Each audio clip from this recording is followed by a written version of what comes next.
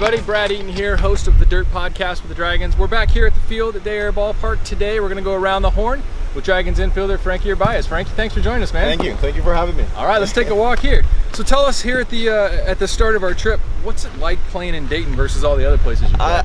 this honestly has been the best place, the best environment that I've played at because even when you are like outside of the facility, like around Dayton, the community, they just treat you like different. You know what I mean? Like it's like you are like if you say you play for the Dayton Dragons, it's like a big deal around here. So it's it's been amazing. Yeah, this is Yeah. a uh, pretty cool spot. So tell us a little bit about where you're from. You're from the Dominican, but it's been a while since you've had a chance to get back there. huh? Yeah, yeah, it's been it's been a minute, you know. Uh, it's been probably like around two years. I was there December the 20, 2019. So you know, it, it's been rough because uh, especially for my family and me, you know, we haven't been without contact that, that like with that much long of a time. So, but yeah, I think they're trying to figure it out uh, when to come here, and hopefully they do soon. Mom's is missing her boy, right? Oh yeah, absolutely. well, hopefully we'll get her here soon. Yeah. So COVID obviously messes up a lot of things, family life, travel, all that stuff.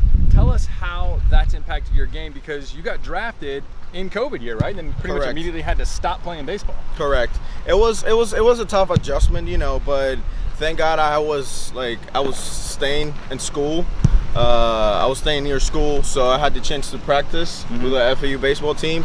Uh, I I'm really glad that that happened because honestly I didn't know what else to do. Because back home, they were still having issues with the COVID situation, like so I couldn't go back home.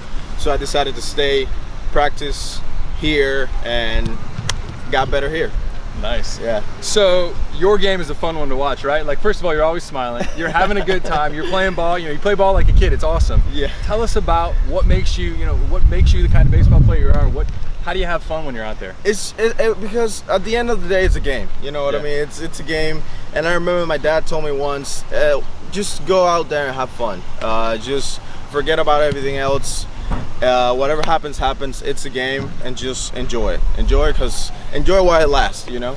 Yeah. So, yeah. That's that's about it, basically. That's, well, that's good advice, especially as we get into the dog days of summer here. It's obviously a hot one It is. today. It is a humid one out here. I never expected to be this hot and humid in uh, Ohio. Didn't expect it to feel like the Dominican up here in Ohio, no, right? not at all. All Not right, at one all. last thing. Tell us, uh, you know, tell us one thing that fans should be watching for here as we kind of come down the home stretch of the season. What are the things that you guys are focusing on that are really going to get you to uh, hopefully to the playoffs and, and into the into the postseason? Hopefully that's that's that's that's the goal. You know, that's the end goal. Hopefully we uh we come together as a team and keep winning ball games. Uh, and you know, uh, I would I would love to see you guys here and let's go Dragons.